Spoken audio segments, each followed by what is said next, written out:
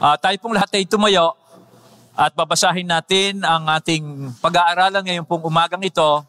Welcome po yung mga nasa online at welcome po ang bawat isa dito sa ating auditorium. Genesis 9, verse 18 po ang babasahin natin pababa. Genesis 9:18. Ang mga anak ni Noe na lumabas sa daong ay sina Sem, Ham at Japheth. Si Ham ang siyang ama ni Canaan. Ang mga ito ang tatlong mga anak ni Noe at sa kanila nagmula ang lahat ng tao sa lupa. Si Noe ay isang magbubukid at siyang pinakaunang nagtanim ng ubasan. Uminom siya ng alak at nalasing at siya'y nakahigang hubad sa loob ng kanyang tolda. At nakita ni Ham ang mga naam, at nakita ni Ham na ama ni Kanaan ang kahubaran ng kanyang ama at isinaysay sa kanyang dalawang kapatid na nasa labas. Kumuha sina Sem at Japheth ng isang balabal, inilagay sa balikat nilang dalawa, lumakad ng paatras at tinakpan ang kahubaran ng kanilang ama. At ang mukha nila ay patalikod at hindi nila nakita ang kahubaran ng kanilang ama. Nagising si Noe sa kanyang pagkalasing at nalaman ng ginawa sa kanya ng kanyang bunsong anak. At kanyang sinabi, Sumpain si Kanaan. Siya ay magiging alipin ng mga alipin sa kanyang mga kapatid. At sinabi niya, Purihin ng Panginoon ang Diyos ni Sem. At si Kanaan ay magiging alipin niya. Palawakin ng Diyos si Japheth at siya ay titira sa tolda ni Sem at si Kanaan ay magiging alipin niya. Nabuhay si Noe ng tatlong daan at limangpung taon pagkarao, pagkaraan ng baha. Ang lahat ng naging araw ni Noe ay siyam na raan at limampung taon at siya ay namatay. Ito po ang salita ng Diyos na ngayon pag-aaralan natin. Makakaupo na po kayo mga kapatid.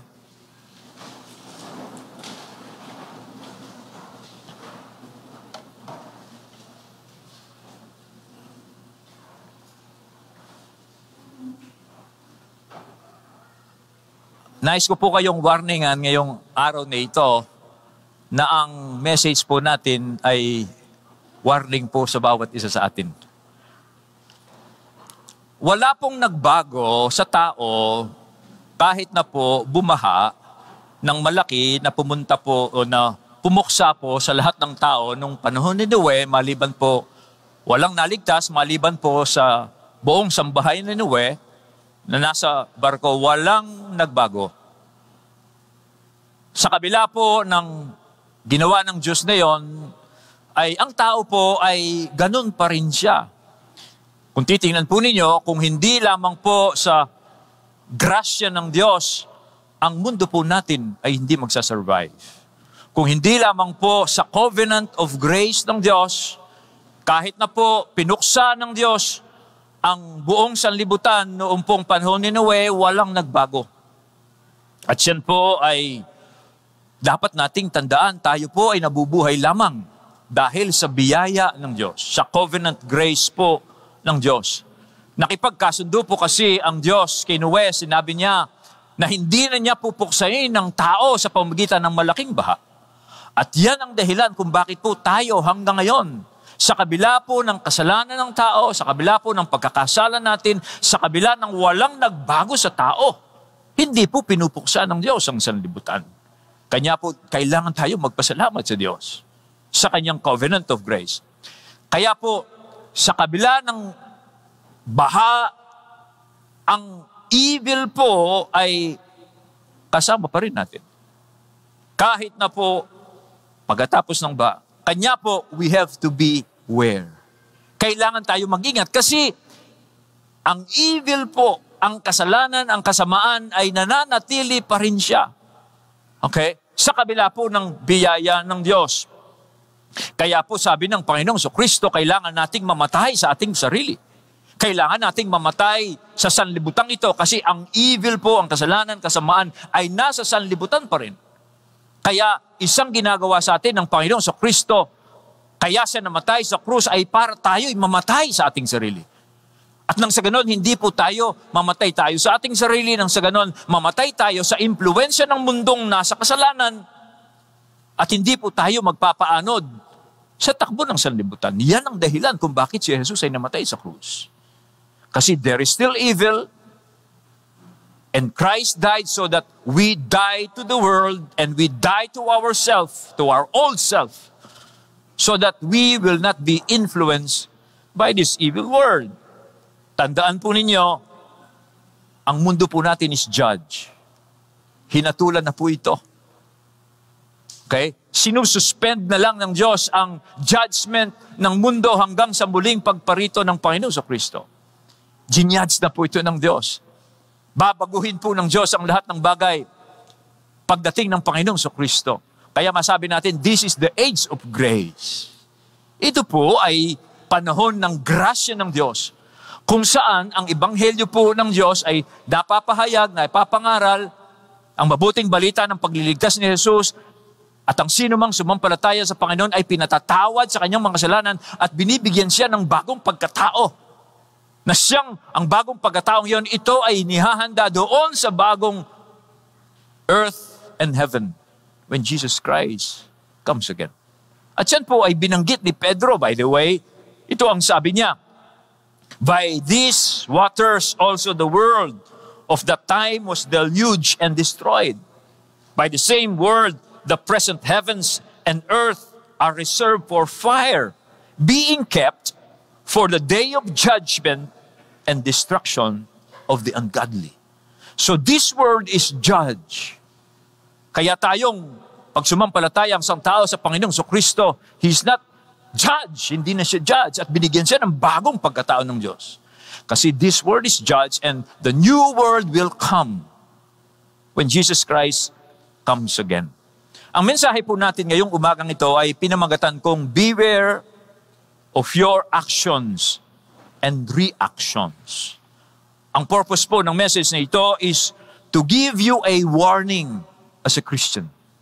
Para bigyan po kayo ng babala, yan ang purpose ko po ngayong umagang ito. Kaya kung naging seryoso man ako, magiging seryoso po ako ngayong message nito kasi I am giving a warning a warning for every Christian. Yan po ang, ang purpose ko. Because evil is still alive and present in our world, even though God is gracious, even though we are Christians, even though we have now a new nature because of our relationship with Jesus Christ. So, first warning. This is the first warning. Beware of letting your guards down. Ibig sabihin sa Tagalog, huwag po tayong magpakampante. Kahit na po mabuti ang Diyos, kahit na po tayo ay pinatawad ng Diyos, kahit na po sinususpend ng Diyos ang kanyang hatol, kahit na po krisyano tayo, huwag tayong maging kampante sa ating pamumuhay dito. Now, dito po makita natin, sa mga talatang binasa natin, si Noah po, bagamat siya'y merong magandang pasimula, pero dito sa nabasa natin ngayon, after the flood, hindi ba, before the flood, Noah was blameless, righteous, perfect in his generation. That was before the flood. Pero after the flood, makita natin, dito binasa natin, bagamat may covenant ang Diyos sa kanya, si Noah po ay nasa lowest point of his life. Ano yung makita natin? Okay, he planted the vineyard and he got drunk and he made himself naked at the lowest point of his life. Alam mo, yan ang makita natin. Kaya si Noah, kahit na po, sabi ng Bible, before the flood, pre-flood, he was a righteous person, perfect in his generations. He was walking with God, pero post-flood, after the flood, narito siya Nagtanim daw siya ng ubasan, gumawa siya ng alak, uminom siya ng alak, nagpakalasing, at hubad. Alam mo ninyo, madaling i-apply ito eh. Kasi sa panahon natin ngayon, nauso yung mga Christians na pre-COVID and post-COVID. Itong makikita natin ngayon sa panahon natin ito, sa church natin, sa buong Pilipinas, sa church sa buong mundo, o sa Pilipinas, sa buong mundo, merong mga Christians ngayon na pre-COVID at post-COVID. At ano yung ibig sabihin yan? Well, ang pre-COVID Christians, bago magka-COVID, Christians were active in church. They, they, they are serving God. They, they, they, they don't want to be absent on Sundays. Pero post-COVID, nagbago. Anong nangyari? Parang sino eh. Okay? Nung post-COVID, Christians now are not that active. They are complacently deactivated. Parang hindi na mahalaga yung Sunday, hindi na mahalaga yung kanilang pagsamba sa Diyos. Okay? So meron ding kung paanong si Noe, merong pre-flood, blameless, righteous in his generation. Post-flood, you see his, he's at the lowest point of his life. Ngayon, Christians pre-COVID, post-COVID. Okay, ngayon, you know what I mean? Kung tatanong, anong nangyari kay Noe? Anong nangyari sa mga Christians? Bakit nung pre-COVID, they were active, post-COVID, kadarating lang sa church, gusto mo umuwi. Kapapasok lang sa church, late na nga, pag nakaupo na, naiinip na, gusto na umuwi. Post-COVID. Ang tanong, anong nangyari? You have to be careful. Mag-ingat po tayo sa mga bagay na yan. Now, yung pong pagkalasing ni Noe at yung kanyang paghuhubad, ini-explain away po ito ng ibang tao. Sabi nila, si Noe, ano eh, yung they, they try to explain away. Sabi nila, ah, kaya nangyari kay Noe yan kasi hindi naman sanay uminom si Noe. Ano? Ganito sinasabi nila, uh, hindi siya sanay uminom, hindi niya akalain nung iniinom niya, nakakalasing pala yon, kaya nalasing siya. Pero ano man po ang kanyang ng dahilan, maraming mga dahilan na they, they, they try to justify Noah's drunkenness and then his nakedness because of his drunkenness. Pero alam ho ninyo, anuman po ang explanation nilang binibigay dyan, this is a testimony of Noah's sinfulness. Noah's depravity. Ito po ay katotohanan, testimony po ito, bagamat siya ay may covenant ng Diyos sa kanya, he still a sinner. Kundi lamang po sa grasya ng Diyos at, at tipan po ng Diyos sa kanya, walang mangyayari kay Noe. He has to hold on to God's covenant. Ito po ay katotohanan na siya po ay sinful pa rin siya kahit na gracious ang Diyos sa Kanya. At tayo naman, ito rin po ay katotohanan kahit na Kristiyano tayo, kailangan pa rin po tayong meron pa rin unending need. Meron pa rin unending need for us as Christians to bantay-bantay ourselves. To guard ourselves in this world. Alam mo ninyo, tingnan ninyo, kailan nangyari kay Noe ito? Sabi sa Bible, in his older days, nung matanda na siya, it was, siguro sabihin natin, 601 lumabas siya sa sa daong and then nagplant siya ng vineyard. Siguro ang siguro ang vineyard mga magkakabunga raw po yan in one year and then gumawas nagpitas siya tapos pinirment niya. Matagal-tagal din. At nangyari po ito when he was old. Two applications sa makita natin diyan yung kanyang lowest point. Bagamat meron siyang covenant sa Diyos, may covenant ang Diyos sa kanya, he still lives by grace, kailangan niyang ingatan niyang kanyang sarili, lalong-lalo na when he was old. Two applications. Alam mo ba ninyo, old people tend to do foolish things when they get older.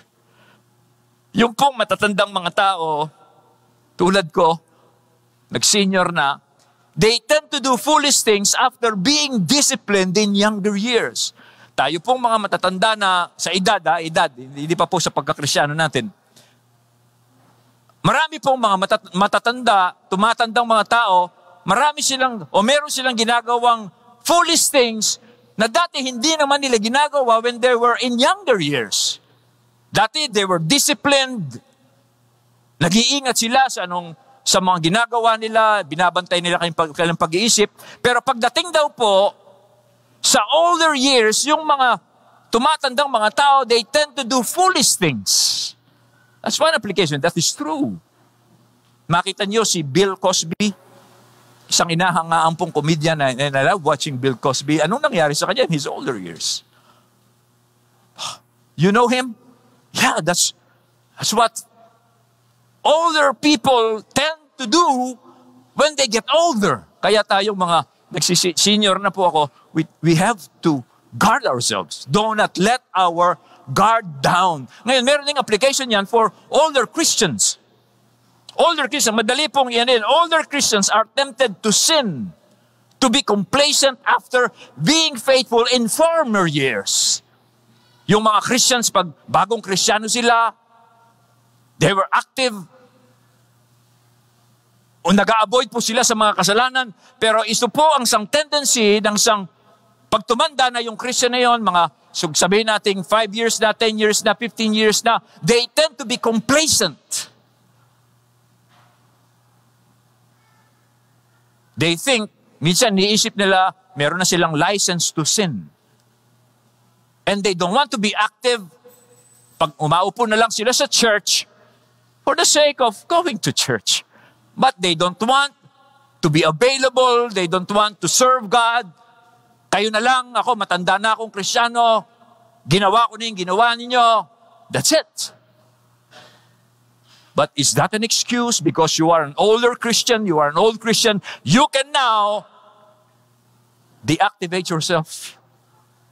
Wow. Kung ganyan po ang Kristiyano, I don't want to be a Christian. Because ako, ang karanasan ko as I grew older in my Christian life and, and as I growing older in age, I want to know God.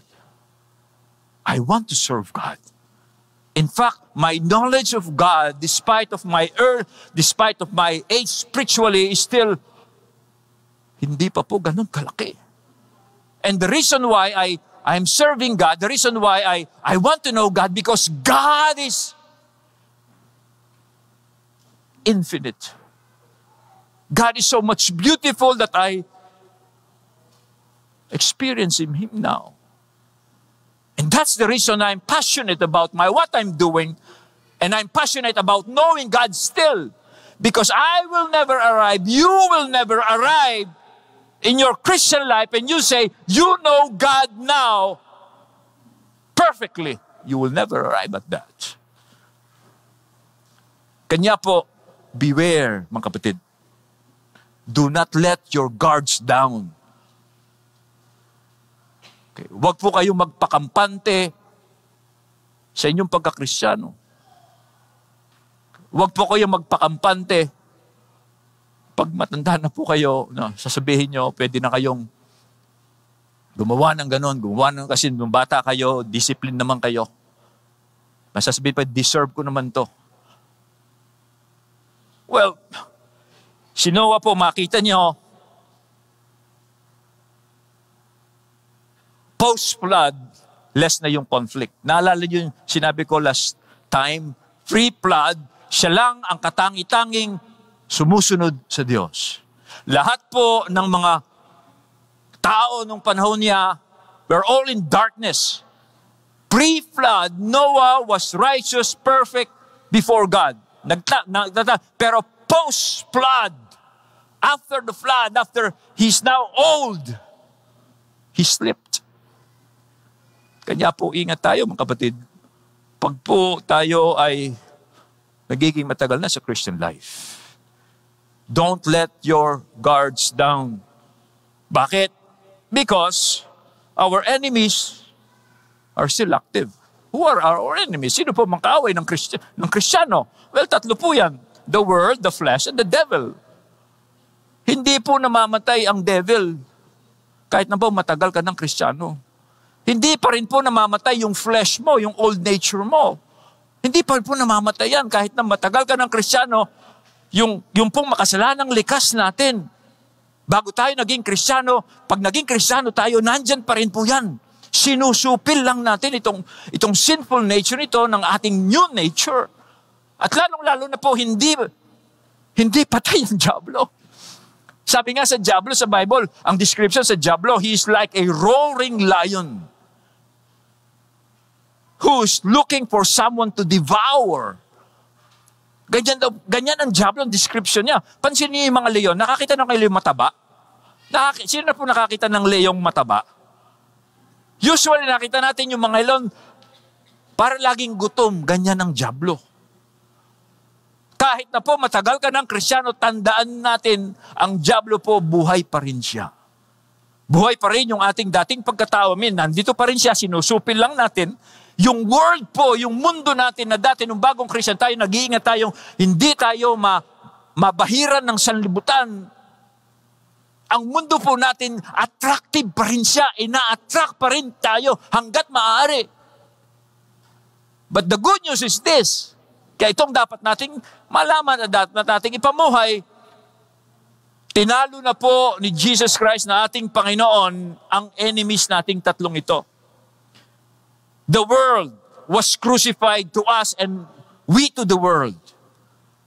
Through the cross, our flesh died when we were united to Christ. Yung flesh po natin was died, died Our flesh, ulitin ko, our flesh died, was buried with Christ. That's the reason why Christ died, so that our flesh will die, our old self will die, so that we will rise again into a new life. That's the good news.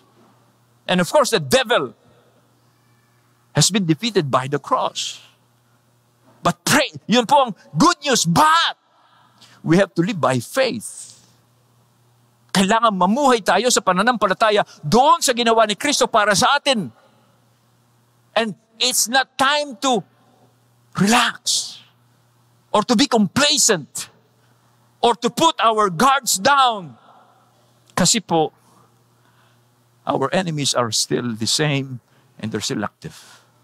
Kahit na matagal ka ng Kristiyano, kahit na mag, magpalit ka pa ng church, kahit na saan ka pa pumunta, Ayoko sa Lord's Way, maraming pressure. Pupunta na lang ako daw, walang pressure. Nandun din po ang Diablo. Kahit na saan ka pumunta, huwag mong sabihin pagdating mo doon, yung Diablo, hindi ka nahahabulin. O pumunta ka doon, yung, yung, yung flesh mo patay na, hindi, kasama mo pa rin ang flesh mo. Okay? O pumunta ka sa ibang church, yung mundo doon iba. Pag din, yun, ang iba doon yung mundo. No, pwede mo nang gawin ang gusto mong gawin. Saan mo nakakuha yung ganyang impormasyon?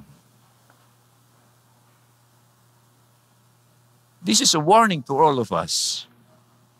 Now, tungkol naman po sa drunkenness ni Noah, yung pagkalasing po ni Noah, at saka po yung kanyang pagkahubad. Yung wine po sa Bible is not bad. Hindi po masama. Ang alak, ayon sa Bible, una, wine gladdens the heart. Yan raw po ang nagpapasaya ng puso ng isang taong nalulungkot, yung alak. At yung alak po ay symbol yan ng blessing sa Messianic age. Pagdating daw po ng 1,000 years ng Panginoon sa Kristo, isang description doon, wine will be many. Oh, that is a description. And, and, and, and kaya po yung wine is a symbol of the blessing in Messianic age. Si Jesus, tandaan natin, He turned water into wine as a sign. Okay?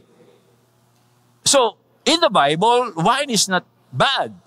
Pero, if wine causes someone to do foolish things, it's bad. Okay? Pag po yung alak, bagamat hindi masama sabi ng Bible, pero pag iniinom, naguhubad yung minom, ba, masama na yan. Tuwing nakakainom ng alak, naguhubad, masama yan. Naalala ko, nung bata kami, doon pong in my in, in the 60s when I was in the elementary, meron po sa amin, sa baryo namin, tinatawag lang Mandong Murit. Mandong Murit. Ano sa, kapam, ano sa Tagalog yun? Si Mando, baliw. Alam niyo, bakit siya Mandong Murit? Tuwing umiinom po siya, pupunta siya sa daan. Pag nalasing na siya, Lalagay niya yung bilog. Bilog, yung hinebra. Sa gitna ng daan, maguhubad po siya. Si Mandong Morit, ito yung ginagawa niya. Sasayaw siya. Hubad. Pag ganun po, ang tama sa iyo ng, ng alak, huwag kang iinom. Pag tuwing iinom ka, naguhubad ka, hindi masama yung alak na ininom, masama yung tama. Pag lahat, pag umiinom ka, pagkatapos mong inom, naguhubad ka, aba, iba na yan, masama na yan. Sa Bible po kasi, yung kahubaran, merong meaning yan eh. Ang kahubaran is a shame. Yung shame, S-H-A-M-E. When, when, the, when, nakedness in the Bible is shame. Nakakahiya. Kahit naman sino magubad eh. Nakakahiya yan. Kaya pag yung alak nagiging dahilan yan ng kahihiyan, nakapagsasalita ka ng kahihiyan, mga hindi mo dapat sabihin, sinasabi mo pag nalalasing ka, kung ano-ano yung lumalabas sa bibig mo, abay tigilan mo yung pag-inom mo. Okay? Tigilan mo yan. Tawa kinet. One time, siyempre ako binibigyan ako ng red wine. Hindi ko alam ang ano yan eh. Eh ako may allergy ako. Allergy, pag uminom ako ng konti, alcohol, namumula ako. Uminom ako naka, inom ako ng, ng red wine, namula ako naramdaman ko mainit. Tapos sabi nito, oh, baka maghubad ka. Pag po ganun nang nangyayari, aba, pag nakakainom ka kung ano lumalabas sa bibig mo, gumagawa ka ng magi kang mandong murit. Tigilan mo yan. Okay?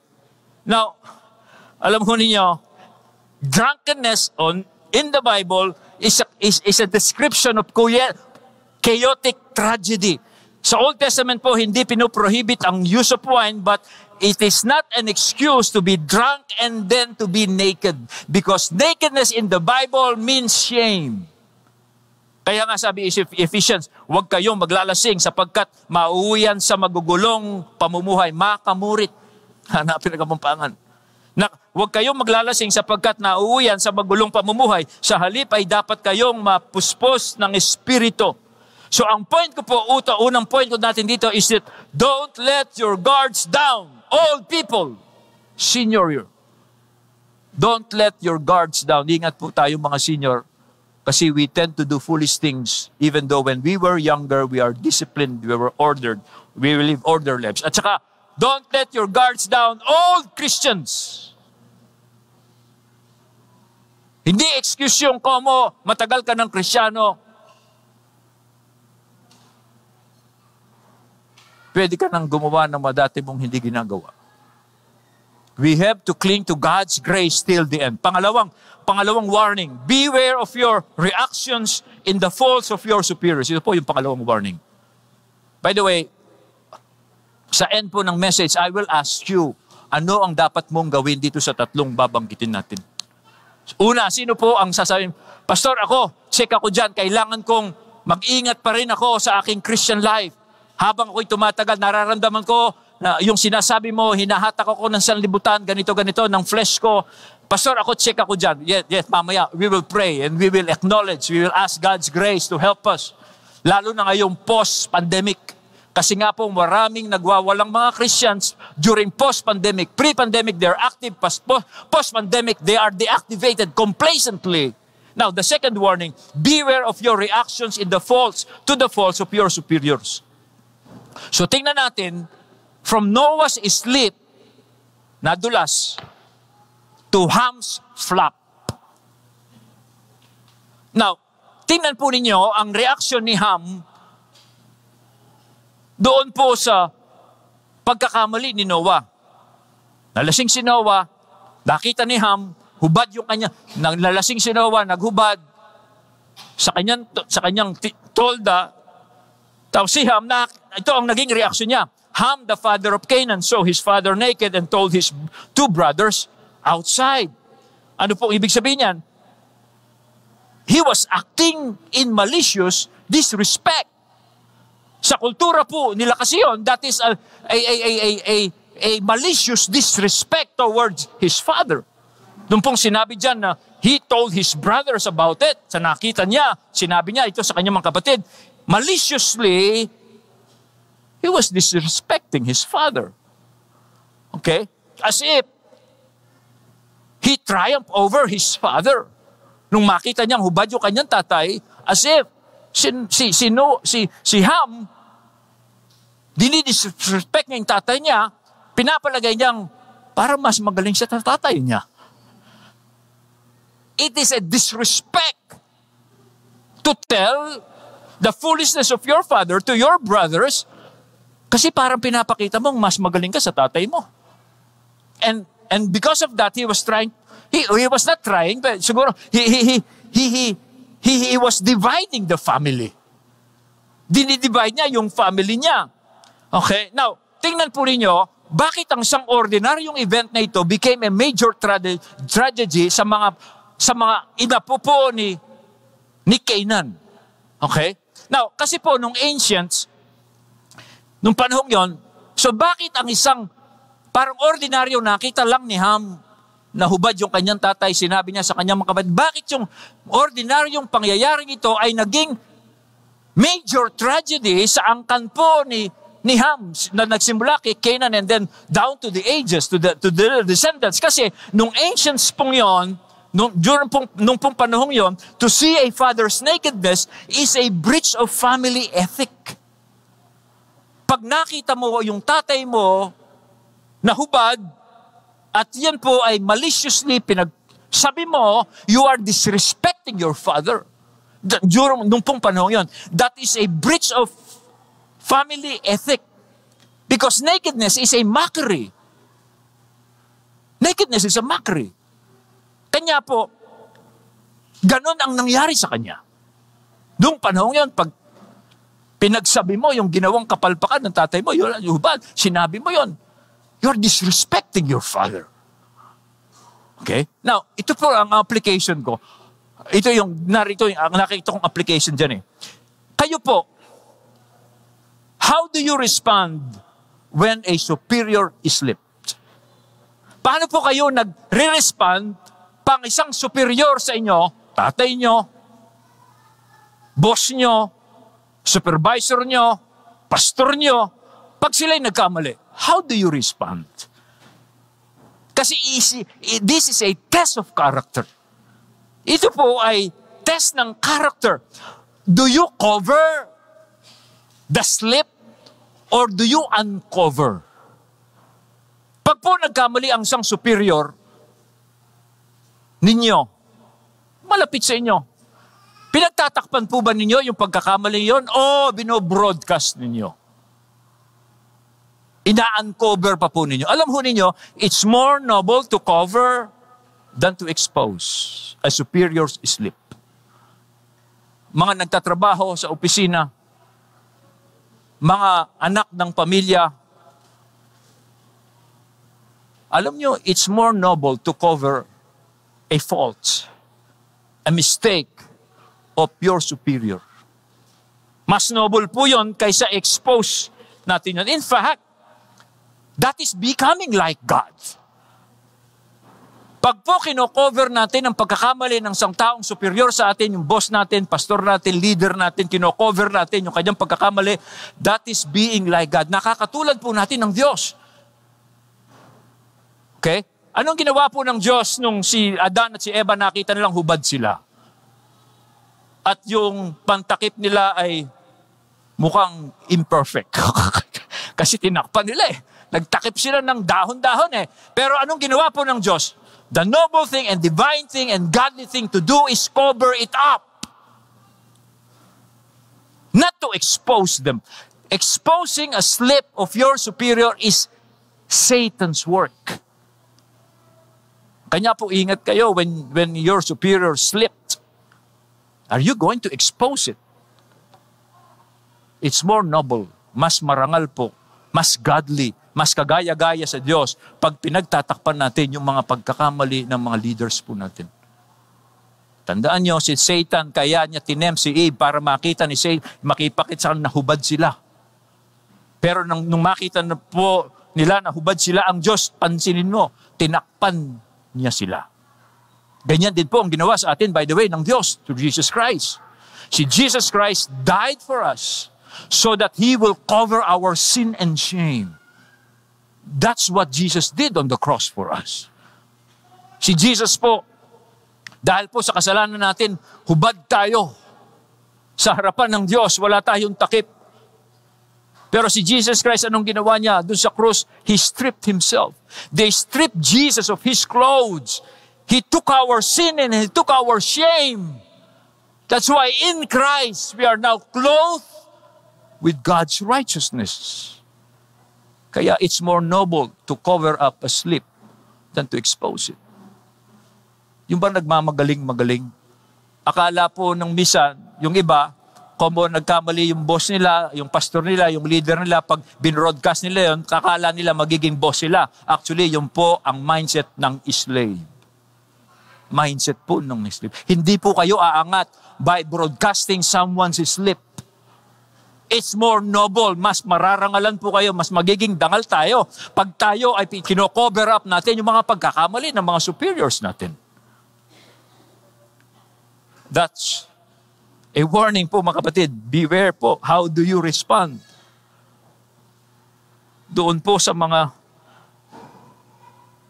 kaya sabi sabay, kasi Satan, si Satan, ano ginagawa sa atin ni Satan? He stripped us Nire-remind tayo ni Satan sa mga kasalanan natin, mga slips natin sa buhay. That is Satan's work. Pero ano ginagawa ni Jesus Christ? Gusto ni Jesus Christ, we look to Him. Kasi pag pinapaalala ni Satan sa atin yung mga pagkakamali natin sa buhay, we look at Jesus Christ. Gusto ni Jesus, tumingin tayo sa Kanya because Christ wants to clothe us with His righteousness. Amen? Yes. That's an amen. Kaya po sabi ni Peter sa 1 Peter 4, 8, Higit sa lahat, magkaroon kayo ng maningas na pag-ibig sa isa't isa. Bakit? Sapagkat ang pag-ibig ay nagtatakip ng maraming kasalanan. Ang pag-ibig raw po ay nagtatakip ng maraming kasalanan. Yun ang gusto ng Diyos. Huwag na po nating i-broadcast yung mga kasalanan po ng mga superiors natin. Huwag na rin nating i-broadcast yung mga kasalanan ng mga kapatid natin. Let's cover it up. Payuhan natin sila, Balik natin sila sa Panginoon. Una natin ipagsabi, mga ginagawa nila. Hoy, pag-pray natin si kapatid, bakit ganito, ganito nangyari sa kanila? Pero chinichismis lang. Tapos kakalat pa yun.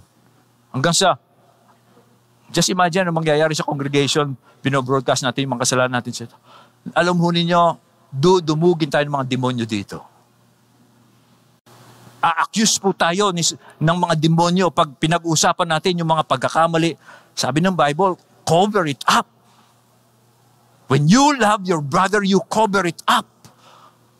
Okay? Kasi yan ang gawain ng Diyos. Si Satan ang gawain niya pag pag-away-awayin yung magkakapatid, pag-away-awayin yung mga miyembro sa church, pagkabahabahagi. Yan ang gusto ni Satan ever since. Kanya ingat tayo. Ingat tayo. Kaya mga kapatid natin nagkakamali, tulungan natin silang makabangon. Huwag nating i-broadcast na. Pagtsagaan natin sila, panalangin natin sila, ibigin natin sila. Huwag na natin pong i-broadcast. Gawin po natin yung ginawa ni Shem. Be like Shem and Japheth. They covered his father's nakedness. Sabi ng Bible, but Shem and Japheth took a garment and laid it across their shoulders. Then they walked in backward and covered their father's naked body. Their faces were turned the other way so that they would not see their father's nakedness.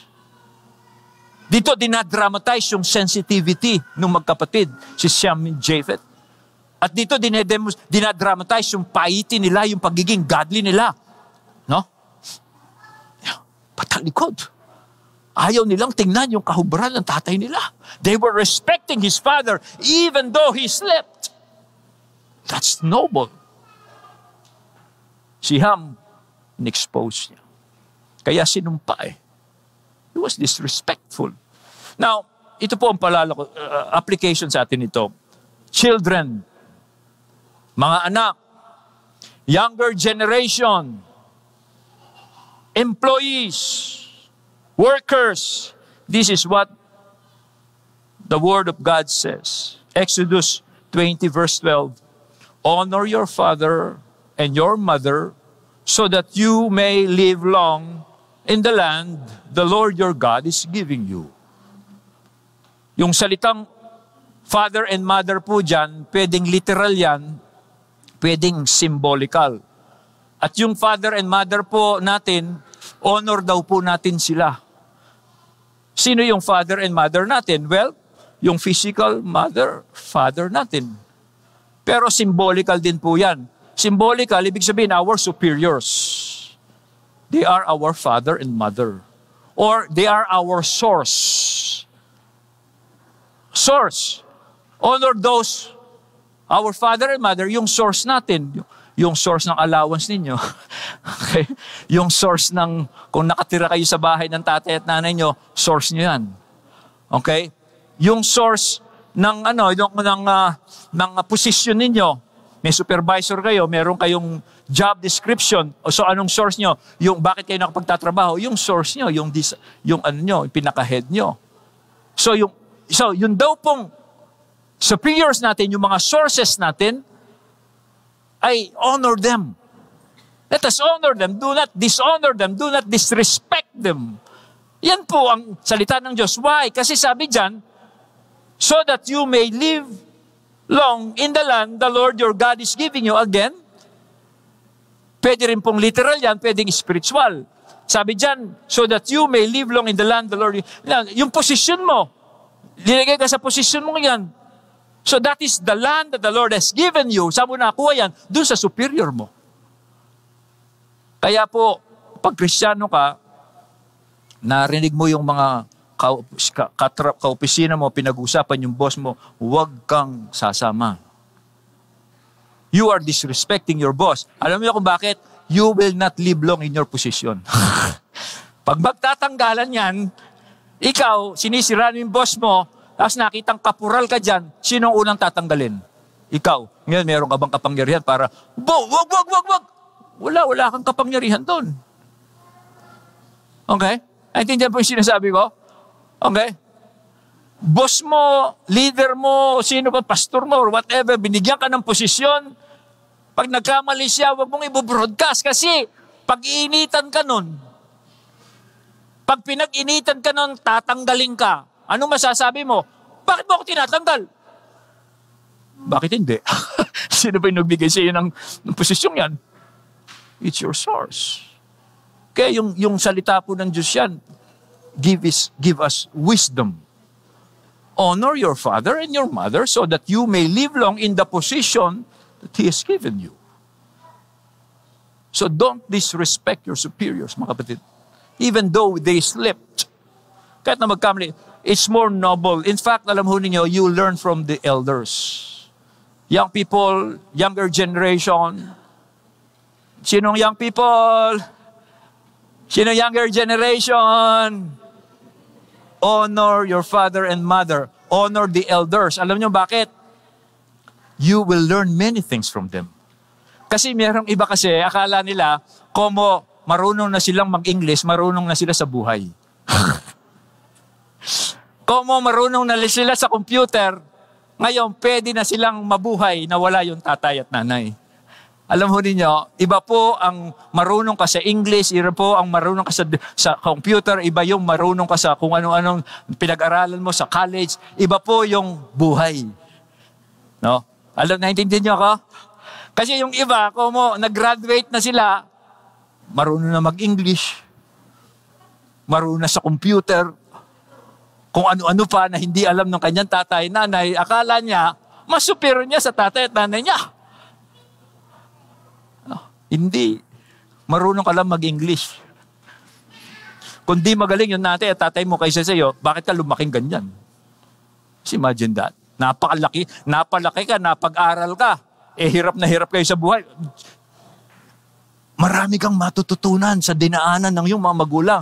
Yung hirap na dinaanan nila kahit na ordinaryong Magsasaka lang yan, ordinaryong tricycle driver lang yan. Pero pag nagsikap yan sa buhay para itaguyod ka, marami kang maiintindihan, matututunan sa iyong mga magulang.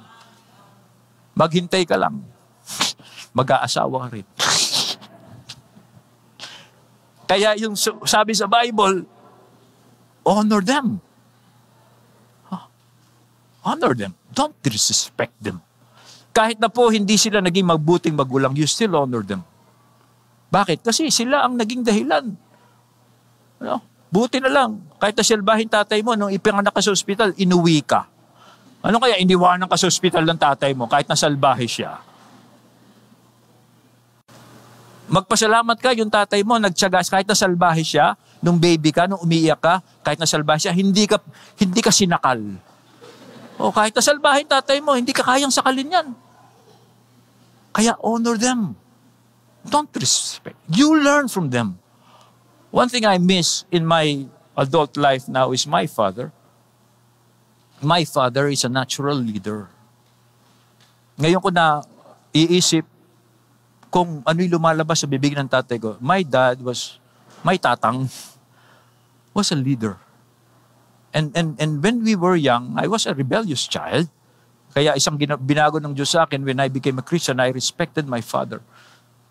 Isang namimiss ko sa tatay ko in my leadership position na as your pastor, naalala ko yung mga sinasabi niya. Nung bata kami, and then he's leading this, he's leading that. Tatay ko, magaling organizer yung tatay ko, resourceful yung tatay ko. Kaya naalala ko yung mga example siya, yung mga sinasabi niya sa amin, na noon, I was despising. Pero ngayong pastor na ako, I am now a leader, Lagi ko naalala, ganun pala. Kaya pala si tatang ganito siya magsalita. Iba siya, hindi ordinaryo yung tatay, yung tatay ko. Hindi siya ordinaryo. Just imagine yung tatay ko, bata pa lang sila namatayan ng tatay. Ang nanay, ang nanay niya tatampi ang kuran. Tapos tinaguyod ng nanay niya, yung sila, siya as, as, as the eldest, siya lang ang nag-aral. I mean, siya, isa lang sa nag-aral doon sa kapalangan. Isa lang siya sa mga nag-aaral. Just imagine, on his own, nag-aaral siya. Just imagine kung anong dinaanan ng tatay ko para makapag-aral, makapag magkaroon ng diploma. And then when he became a father, I just, bumabalik sa akin to, I, I, if he's old now, if he's alive now, I will learn from him. I will listen to him. I will get his advice. Kanya po, don't disrespect your superiors. Beware of your reactions.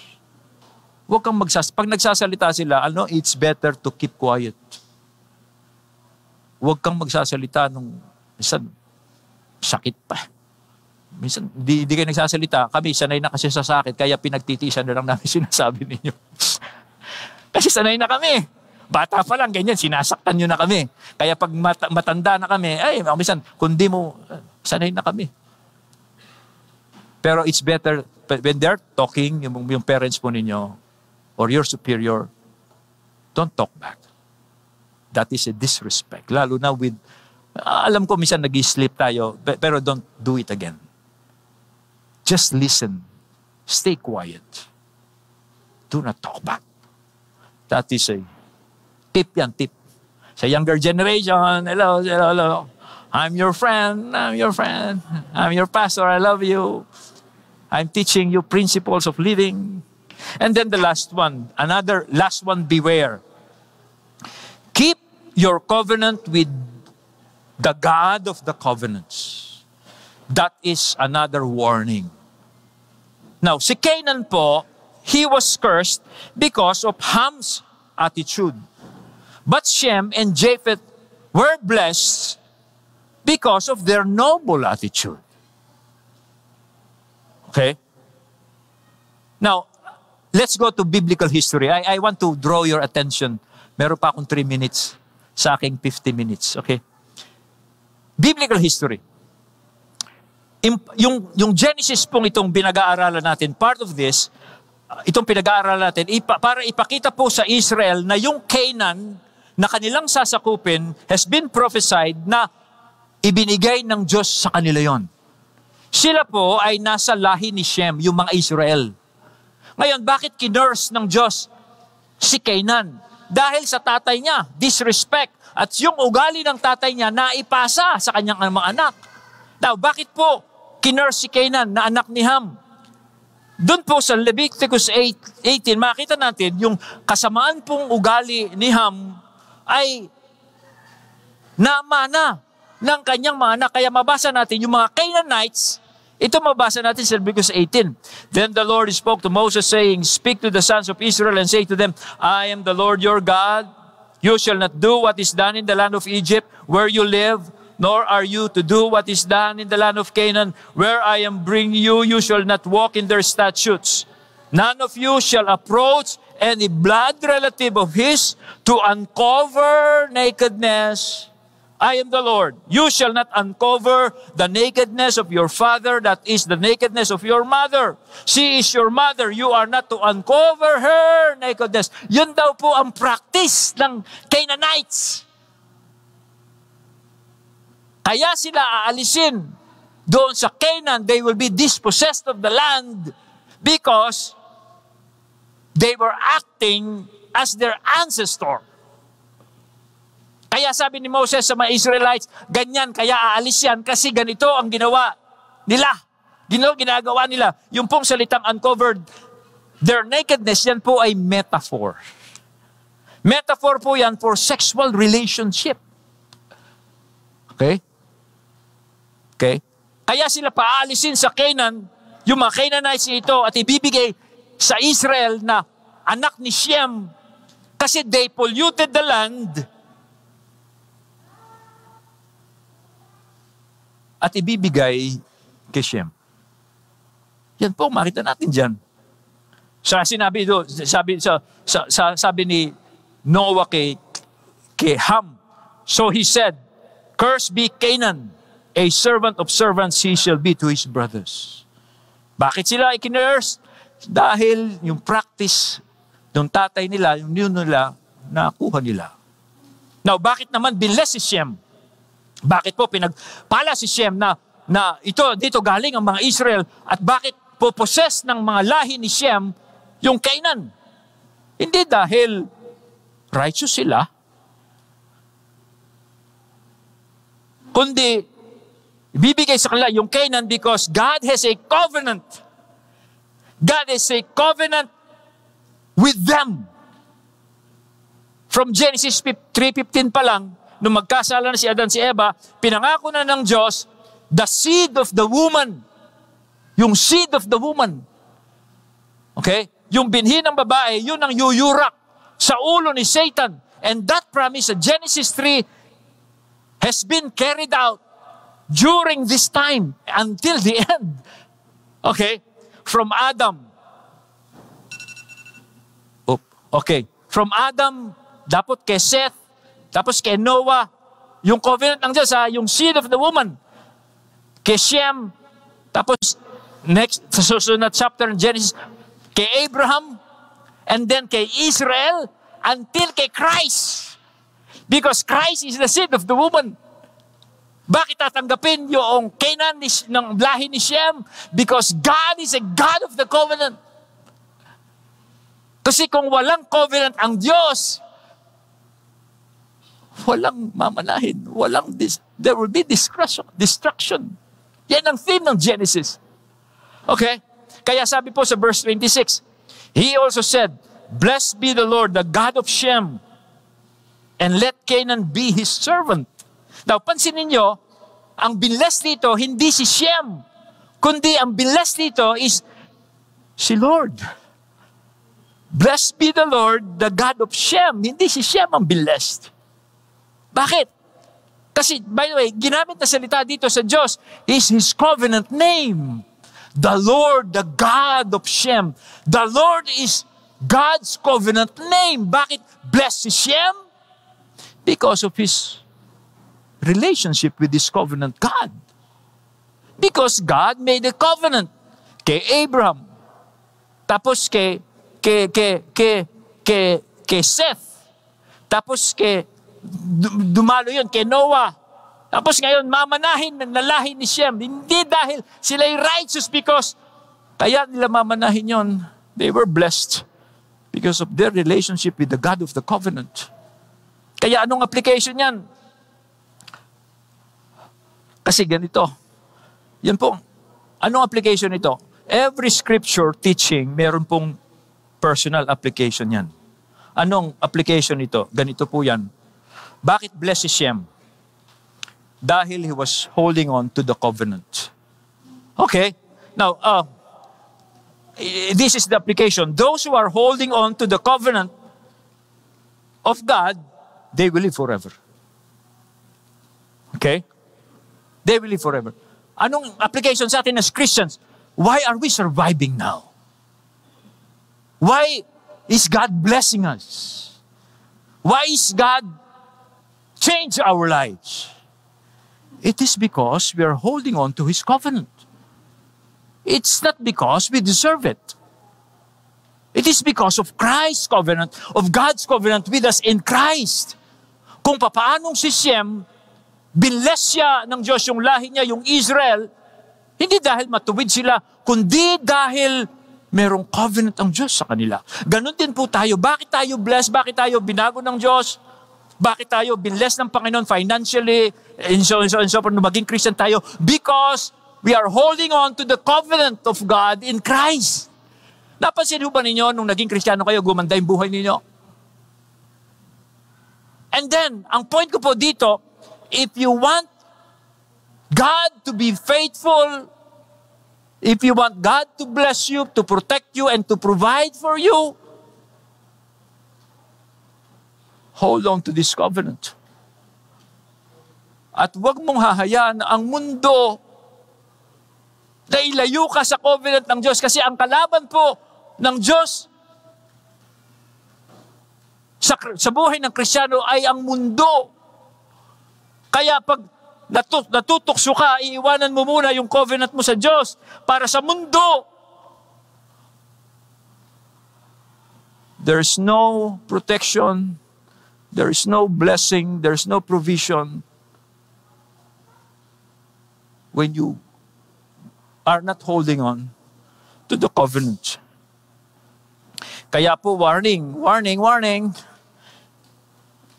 Sa atin po na mga natetempt, sa sino mang natetempt kayo, naiwan po ninyo ang covenant niyo sa Diyos para sa mundo. Gusto nyong maging tulad kayo ng mundo. Ngayon, mayaman na kayo, may nag-aral na kayo, may title na kayo, may ganito na kayo. Tapos ngayon, parang magmumundo muna ako. Tandaan niyo, walang proteksyon ng Diyos sa mundo. That's the point. Okay? Do not leave the Lord for the love of the world. Sinong natutokso ngayon to leave the Lord for because of the world? Oh, meron mga kabataan ganyan. Pag nag-graduate na, estudyante, tapat sa Diyos yan.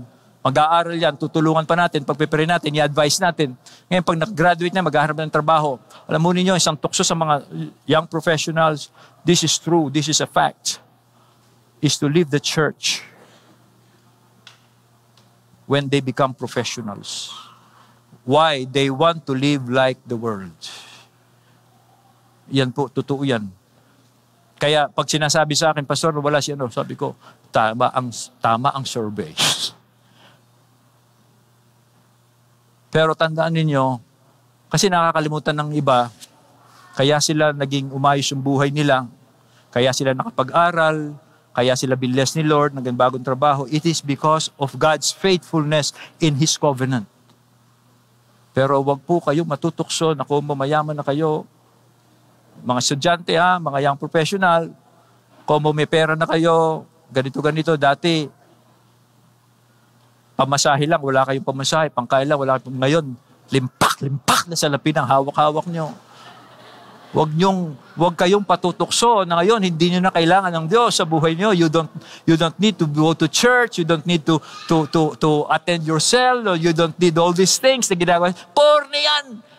It worked in my ngayon iba na gusto kong maging katulad ako ng aking mga ng aking mga friends. Yung mga nasa nasa ano nasa nasa di, ano yung pangalan? Nasa nasa ano nasa yung mga nasa ano nasa nasa high-rise building gusto ko nang maging tulad nila. Corny na yung church. I don't want to attend this cell. Oh, dati yan. Pre-COVID. Post-COVID na. Do not be tempted. Why? Because God is blessing you only because He is faithful to His covenant. Sabi po ng Bible, do not love the world nor the things in the world. If anyone loves the world, The love of the Father is not in him, for all that is in the world, the lust of the flesh, the lust of the eyes, and the boast of pride of life is not from the Father, but is from the world. Nakita nyo? Yung love for the world and love for God will not mix. The love for the world will drive out the love for God. And the love for God will drive out the love for the world. They don't mix. The world is passing away. Tandaan nyo, the world is passing away. The world is passing away. Yung mundong ipagpapalit mo sa Diyos, mawawala yan. It will pass away. And it's also its last. But the one who does the will of God lives forever. Demas, because he loved the world, sabi ni Paul, left me. Demas, because he loved the world, left me. Summary. Conclusion, beware of our actions and reactions. Number one, beware of letting your guards down. Number two, beware of your reactions to the faults of your superiors. Cover them, do not expose them. And number three, keep your covenant keep your covenant with God of the covenants. Alin dito ang dapat mong gawin, mga kapatid? Alin dito? Think now. And I know the Lord is speaking to you. Nangungusap po ang Diyos sa inyo. Alin dito sa tatlong ito ang gagawin ninyo? Dapat nyo gawin ngayon. Okay? At para magawa po natin ano man ang pinagagawa ng Diyos sa inyo ngayon, ano man gusto nyong gawin, ayon dyan, anong dapat natin gawin? You have to die to yourself. Kailangang mamatay po kayo sa inyong sarili. Yan ang dahilan kung bakit namatay si Jesus para mamatay tayo sa ating mga sarili. Ito, sabi ng Panginoon, katotohanan sinasabi ko sa inyo, ang umiibig sa kanyang buhay ay mawawalan nito at ang napupuot sa kanyang buhay sa sanlibutan ito ay maiingatan ito para sa buhay na walang hanggan. You have to die to yourself. If you want to do those things, any of those things.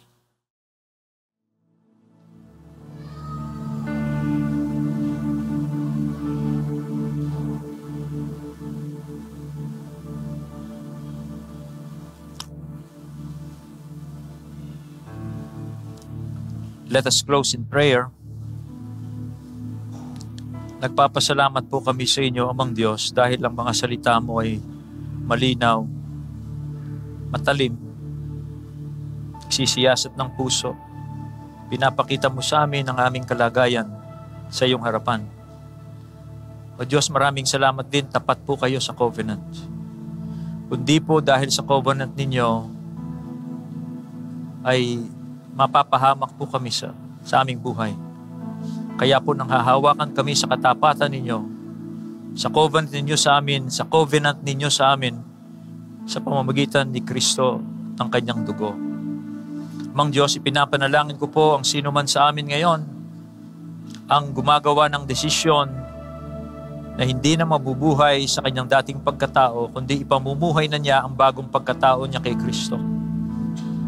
At kung Sino man ngayon na nagpe-pray na, na mamumuhay siya sa kanyang dating pag-ibig, paglilingkod sa iyo bago yung COVID, bumabalik siya, gusto niyang i-renew ang kanyang sarili ngayon, pinapanalangin ko rin siya. Alam kong sapat po ang kapangyarihan ng iyong Espiritu. Sapat ang kapangyarihan ni Jesus. Espiritu ni Kristo ang nasa Kanya, kaya ang gustong gawin ni Kristo ay magagawa niya sa kanyang buhay. O Diyos, iparealize mo sa Kanya, pwede niyang patayin ang kanyang sarili, dati niyang pagkatao, at mabubuhay siya sa bagong pagkatao niya kay Kristo. Salamat po, sapat ang iyong biyaya, tapat po kayo sa iyong tipan by the blood of Jesus, by the cross of Jesus Christ. Ngayon po ang biyaya ng ating Panginoong Kristo, ang pag-ibig po ng ating Amang Diyos, at ang pakikisama ng banal na Espiritu ay sumatin ngayon at magpakailanman. Amen.